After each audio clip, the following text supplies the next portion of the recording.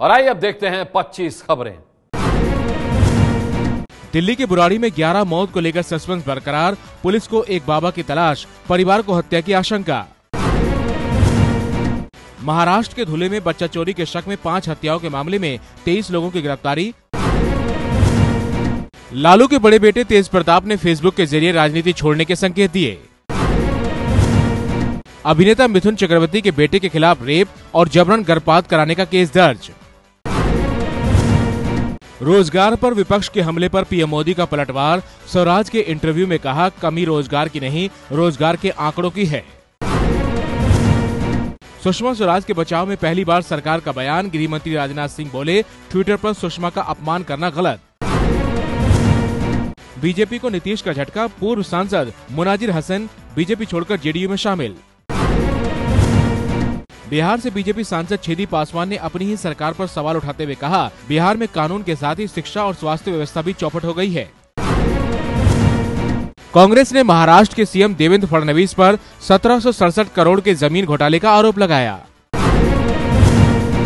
Supreme court ने UP में जनवरी 2017 से अब तक हुए करीब 1500 एनकाउंटर पर योगी सरकार से जवाब मांगा। राजस्थान सरकार ने मोस्ट बैकवर्ड कैटेगरी में गुर्जर समेत पाँच जातियों को एक फ़ीसदी आरक्षण दिया।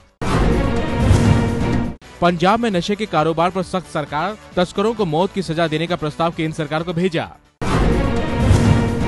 दिल्ली में प्रदूषण पर केजरीवाल सरकार से सुप्रीम कोर्ट का सवाल, इलेक्ट्रिक बसें क्यों नहीं खरीदी? 2019 के लोकसभा चुनाव की तैयारियों के मद्देनजर कल केरल जाएँगे बीजेपी अध्यक्ष अमित शाह। केरल में कई अहम बैठक करेंगे। 4 जुलाई से अमेठी के दो दिन के दौरे पर कांग्रेस अध्यक्ष राहुल गांधी अमेठी में अपने कार्यकर्ताओं के साथ 2019 के चुनाव पर चर्चा करेंगे। पश्चिम बंगाल के मुख्यमंत्री ममता बनर्जी ने आशुतोष कॉलेज में औचक निरीक्षण किया। कॉलेज में एडमिशन के लिए लगे हैं घूस के आरोप। यूपी में हरदोई के सरकारी स्कूलों में बच्चों के हाथों में थमाई गई झाड़ू। छुट्टियों के बाद खुले स्कूल में बच्चों से सफ़ाई कराई गई। हरियाणा के हिसार में काबरेल गाँव के सरकारी स्कूल की सारी लड़कियाँ फेल, टीचर की कमी को बताया गया जिम्मेदार। एमपी के सतना में चार साल की मासूम बच्ची से रेप, मासूम गंभीर हालत में अस्पताल में भर्ती, आरोपी गिरफ़्तार।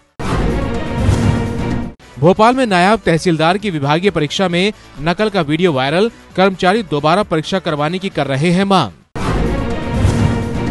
यूपी के ललितपुर में लेन देन के विवाद में दबंगों ने किसान की खंबे से बांधकर बेरहमी से पिटाई की, मामले में एक आरोपी गिरफ़्तार। नोएडा में मेट्रो ट्रैक पर चल रही लड़की का वीडियो वायरल, पैदल ही सेक्टर 15 स्टेशन से सेक्टर 16 तरफ़ की जा रही थी, पुलिस ने हिदायत देकर छोड़ा। आरटीआई एक्टिविस्ट के लिए बिहार बना काल 15 दिन में दूसरी हत्या, मोतिहारी के बाद अब जमुई में भी हत्या की गई।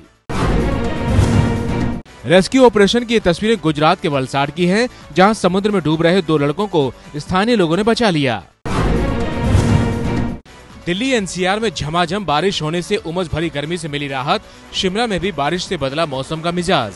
ये है एबीपी न्यूज़ आपको रखे आगे।